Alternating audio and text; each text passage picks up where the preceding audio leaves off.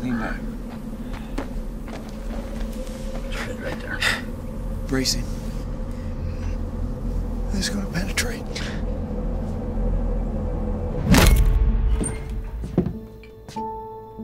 Good evening. Civilized towns. You look a man direct in the face when you talk to him.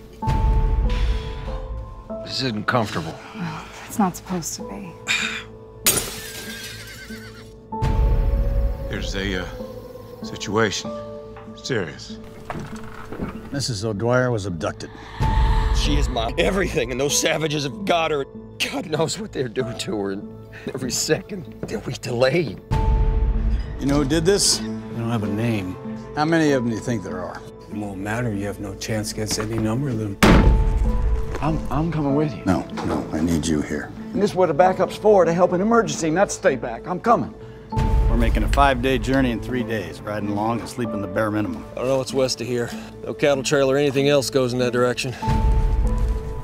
If our horses die before we get there, or we go into hostile territory, weak and foggy with exhaustion, we won't rescue anybody. Don't be scared. I am a friend. You aren't. Damn you! You had no cause. If you want to question my morals, do it later.